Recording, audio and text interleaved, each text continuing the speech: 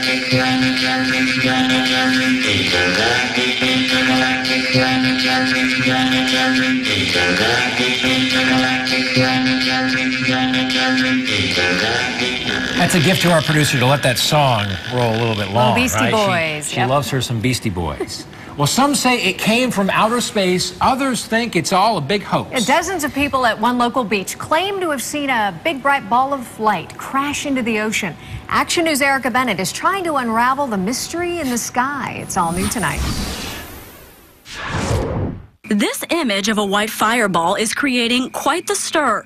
We got it from a viewer who says his friend captured it on Flagler Beach Tuesday night. It's really just difficult to tell. David Begley has been in graphic design for 20 years. We asked him to analyze the photo to see if it was legit. There's only a couple of things really in here that would be of a concern, and if you zoom in on the image, uh, let me zoom out a little bit. Um, this stuff called artifacting um, is pretty consistent with some of the other parts of the image, like there's um, stars and things that have similar artifacting. Begley says he's split.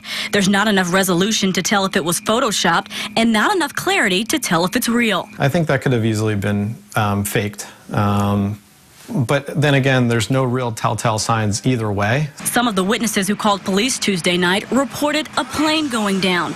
Others thought it was a Chinese lantern or some kind of meteor. When we asked Dr. John Anderson about the picture, he didn't take long to respond. It's a fake.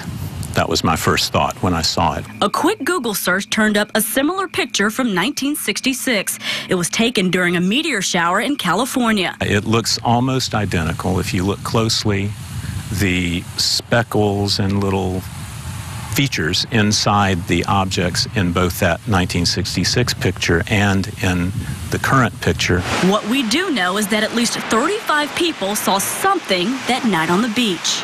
We tried reaching out to the person who posted this photo on Facebook.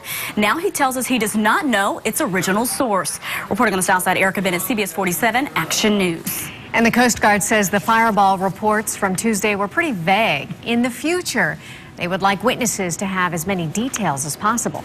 I